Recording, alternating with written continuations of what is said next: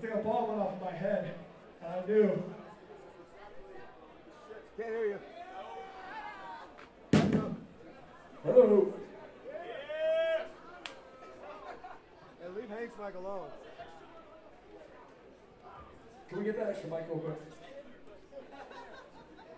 Check, check, check. There we go. All right. Anyway, like I was saying, it was like a bomb went off my head, and I knew that this is something that I wanted to be a part of, and it was something that made sense to me more than anything else that I'd experienced in my life. And the very first, very first show that I ever went to, I got into a fight at, and I got fucking beat up, and it was kind of a sour experience.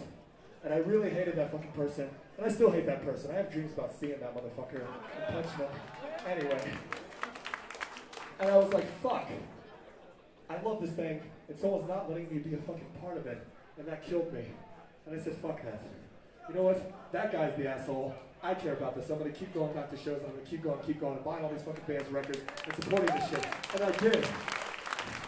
And that guy was gone like six weeks later.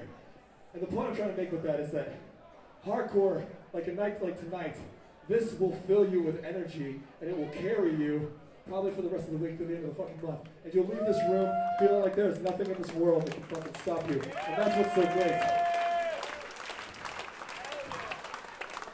But really loving hardcore is when you still choose to come to this room when there's only three other people here. Two of them you can't fucking stand, but you know that you want to fucking be here because you love this shit. And that's what this song is about. It's about digging your heels in when the shit hits the fan. It's called Purple Heart.